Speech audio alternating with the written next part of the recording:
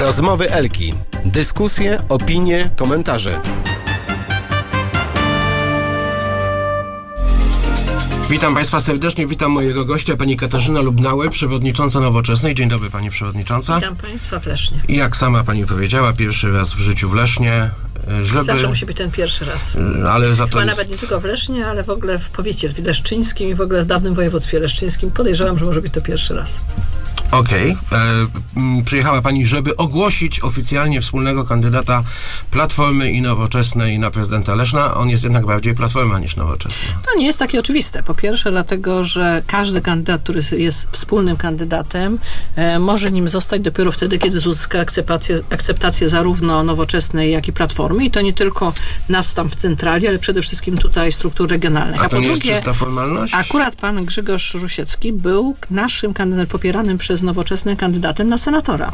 Wtedy, kiedy kandydował w 2015 roku, zresztą kandydował w kontrze do kandydata Platformy, który ostatecznie został e, senatorem, to kandydował z poparciem nowoczesnej. Co więcej, zdobył bardzo dobry wynik w Lesznie, bo tutaj w Lesznie miał akurat e, centralnie e, 40%, w związku z tym był bardzo silnym kandydatem na senatora, więc on jest trochę nasz, trochę Platformy, czyli idealny na wspólnego kandydata dla prezydenta Leszna. Może co do pana Wysieckiego zgoda, ale czy rzeczywiście macie coś do powiedzenia w, tych, e, w tym małżeństwie z Platformą? Zdecydowanie tak. To znaczy tak, po pierwsze, e, czymś naturalnym jest, że bardzo wielu kandydatów na prezydentów pochodzi z Platformy, chociażby dlatego, że bardzo wielu spośród nich jest obecnie urzędującymi, czy radnymi, czy e, prezydentami, czy burmistrzami miast. No Ja przypomnę sytuację, w której mamy poparcie dla prezydenta Jaśkowiaka w Poznaniu. No trudno oczekiwać, że w stosunku do prezydenta, który jednak jest dość popularny w Poznaniu i który jest dopiero prezydentem pierwszą kadencję, e, można by było szukać sztucznego jakiegoś kandydata tylko dlatego, że pochodzi z nowoczesnej. A gdzieś macie różnicę? No na przykład jest w Siedlcach. Jest e, taka sytuacja, że w Siedlcach, Siedlce to jest też dawne, tak jak Leszno, Pani dawne nie była miasto. w Lesznie, ja nie byłem w Siedlcach. E, Okej. Dokładnie, to jest dawne miasto, większe chyba niż Leszno. Leszno ma 60 parę tysięcy mieszkańców, chyba Siedlce są e, liczniejsze. Musiałabym sprawdzić, ale I chyba tam tak. jest spór? Tam jest, nie, tam jest kandydat znowu e, pochodzący, wspólny kandydat z nowoczesnej, pani Magda Daniel, Magdalena Daniel, która jest kandydatem na prezydenta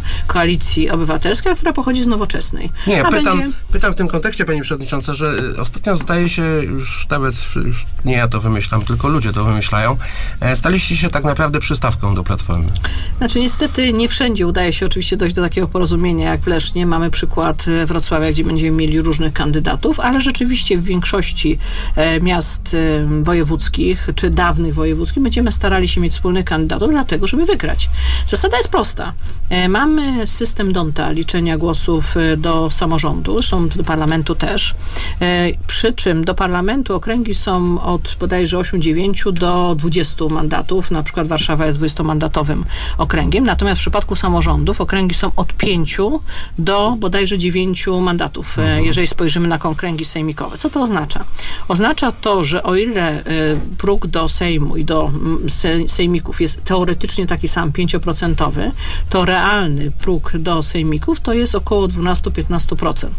Czyli tylko ugrupowania lub koalicje, które przekroczą ten próg, biorą udział w podziale mandatów. Ale to jest koalicja PO Nowoczesna, a miała być koalicja Nowoczesna PO. Pytam, Nie, pytam być- co się stało z Nowoczesną, która trzy lata temu wchodzi do Sejmu i wszyscy mówią pozamiata. Będzie wielki, wielkie wiadomo- wskakiwanie na tratwę z Platformy do was. Tymczasem okazało się, że dzisiaj Myślę, macie że był 5%, taki moment. macie 5% Był taki moment i sondaży. była taka okazja, kiedy w roku 2016, 15, 16 rzeczywiście e, Nowoczesna miała lepsze wyniki niż Platforma, kiedy realnie rzecz biorąc rzeczywiście mieliśmy szansę być em, liderem opozycji, tak moglibyśmy nazwać jako ugrupowanie. Natomiast zdarzyło, co się, się, co się zdarzyło. Rok, Madeira się 2000, zdarzyło. rok 2017 nie był dla nas najlepszy. W tej chwili jesteśmy ugrupowaniem, które rzeczywiście to poparcie ma no, w takich granicach tam rzeczywiście około 6-7%, w każdym bądź razie zdecydowanie niższe w roku 2015-16, ale mamy pewną wartość. Tą wartością jest to, że jesteśmy ugrupowaniem, które ma swoje pewne wartości liberalne, które są uzupełnieniem, myślę, że konserwatywnej kotwicy Platformy. Po drugie, widać, że Polacy chcą współpracy na opozycji i oczekują umiejętności współpracy. Umiejętność współpracy to jest umiejętność pewna dojrzałość, dojrzałość między innymi liderów i mimo tego, że bardzo wiele osób obawiało się, czy na opozycji jest w stanie powstać jakakolwiek koalicja, no to nam się udaje tą koalicję budować i co więcej, otrzymujemy jako koalicja znaczącą premię, czyli jeżeli mamy ostatni, chyba to był Kantar, chyba ostatni Polscer, bo jest najświeższy bodajże, Polscer jest z zeszłego tygodnia, że w sumie e, wynik Platformy plus Nowoczesna to jest e, 29%, a Koalicji Obywatelskiej, czyli Koalicji Platformy i Nowoczesnej jest 35%. I co więcej, co jest ciekawe, odbywa się to nie tylko kosztem e, innych ugrupowań e, opozycyjnych, ale również kosztem PiSu, czyli jemu spada. No ale pytam panią, jak pani się z tym czuje jako liderka partii?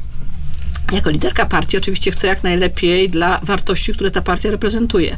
I zdaję sobie sprawę, że dobrych ludzi, wartości, program można realizować wtedy, kiedy się e, jest jednym z współrządzących. Czy w tej chwili w samorządach, czy w przyszłości e, w parlamencie. E, Myślę, nie, że. nie skończy się to pochłonięciem was po prostu Nie. przez e, Platformę Jest to koalicja- system dwupartyjny coraz bardziej nam zagląda w oczy. Po pierwsze, myślę, że w Polsce byłoby trudno zrobić system dwupartyjny, dlatego że u nas nie ma typowego podziału na partie polityczne. Jeżeli się przyjrzymy PiSowi, to on jest z jednej strony prawicowy w swoich poglądach, jeśli chodzi o światopogląd, natomiast jednocześnie jest strasznie soc- socjalny, taki lewicowy, jeśli chodzi o A kwestie związane z gospodarką. I to nie jest typowe ugrupowanie na scenie, bym powiedziała, No, nie, politycznej. nie w stylu anglosaskim, Dokładnie. ale wy jesteście na, odwrót. Jesteście lewicowi obyczajowo i Rzeczywiście, jakbyśmy spojrzeli na partie, które są najbardziej odległe, jeśli chodzi o program od PiSu, to jest to nowoczesne, bo my jesteśmy dużo bardziej liberalni światopoglądowo i dużo bardziej liberalni gospodarczo. Ale jak chce pani Natomiast- uratować nowoczesną? Przede wszystkim uważam, że w tej chwili na te wybory bardzo ważna jest koalicja. Koalicja, bo jak już wyjaśniłam, system Donta oraz e, realny próg wyborczy oznacza, że szanse mają duże podmioty. Powiem więcej. Uważam, że te wybory są kluczowe do zwycięstwa roku 2019, bo jeżeli w tej chwili zbudujemy koalicję, która realnie pokaże, że można zwyciężać w samorządach, czyli utrzyma w rękach opozycji większość sejmików wojewódzkich, jeżeli zdobędzie e, rządy, czyli będzie miała prezydentów w większości miast wojewódzkich, to pokażemy, że PiS nie jest taki mocny.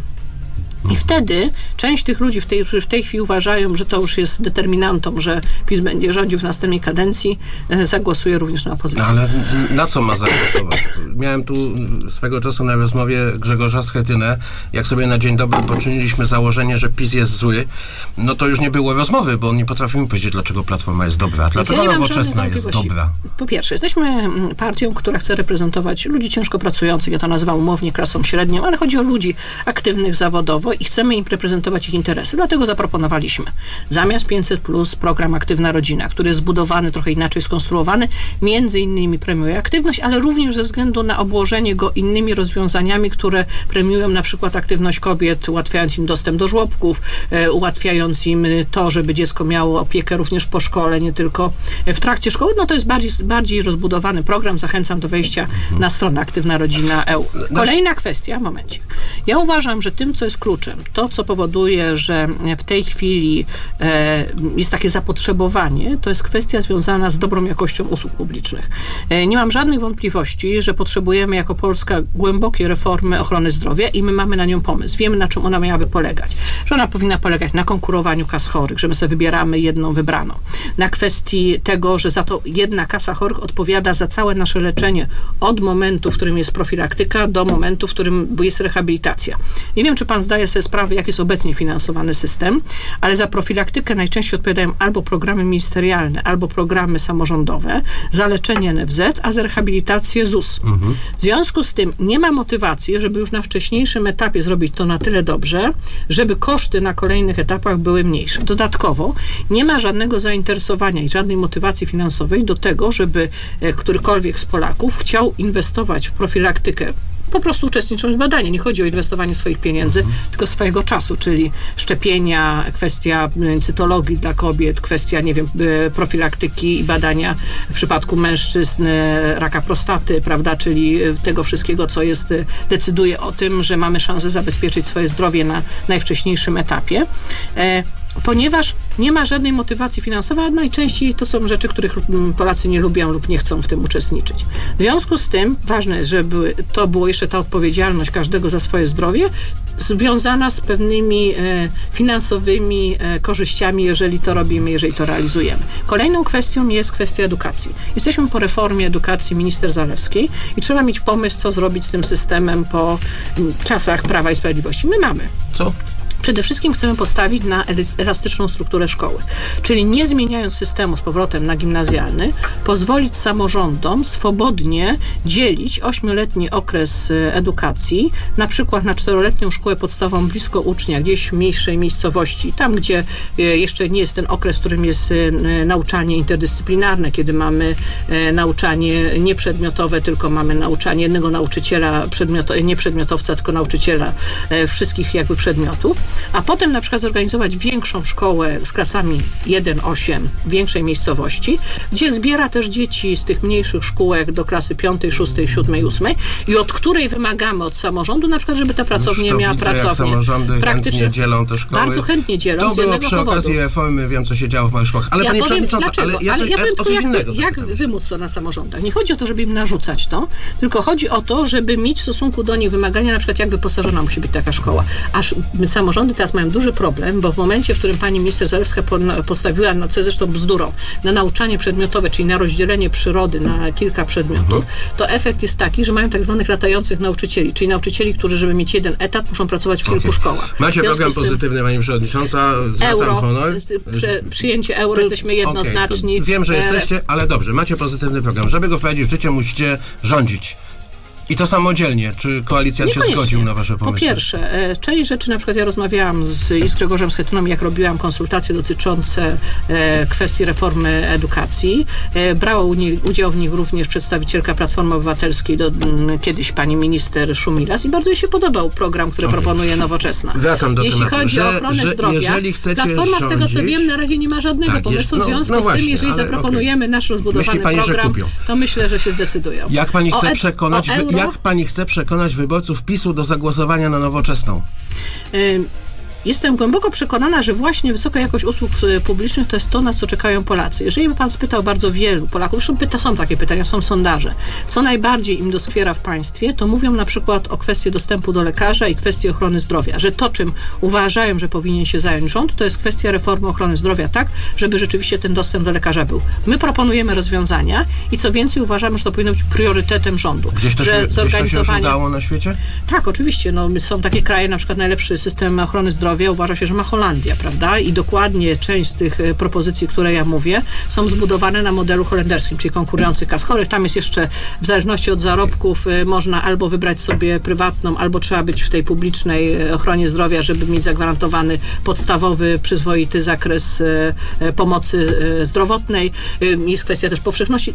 To jest rozbudowany program, który mamy w oparciu... Właśnie to jest... To Czy też, już go macie? to, tak, co więcej, to również Bo chyba... ja już muszę kończyć, a chcę zapytać, czy przyszłym Jeszcze roku w wyborach parlamentarnych ten pomysł będzie przez was proponowany? Na pewno jest, jest elementem naszego programu, podobnie jak euro, podobnie jak program dotyczący A ekologii, do podobnie jak... parlamentarnych idziecie razem z Platformą, czy osobno? Jestem przekonana, że musimy zbudować koalicję obywatelską to szerszą, czyli nie tylko z Platformą, że ona będzie trzonem, ten nasze porozumienie Platformy Obywatelskiej i Nowoczesną, dlatego jest ważne na wybory samorządowe, bo to jest taki poligon doświadczalny Czy na, też. czy na ile się te wasze pomysły utrzymają w kampanii? Y, Szereg tych pomysłów jest taki, że myślę, że spokojnie może stać się elementem wspólnego programu. Są oczywiście rzeczy związane na przykład z liberalizmem światopoglądowym, takim jak rozdział Kościoła i państwa, na który będziemy musieli e, zachęcić i e, myślę, że po, te rozwiązania pokazać również naszym partnerom, którzy są trochę bardziej konserwatywni, ale jestem przekonana, że bardzo wiele z programu nowoczesnej ma szansę stać się elementem programu koalicji. Pożyjemy, zobaczymy. Pani Katarzyna Lubnauer, przewodnicząca Nowoczesnej, dziękuję bardzo.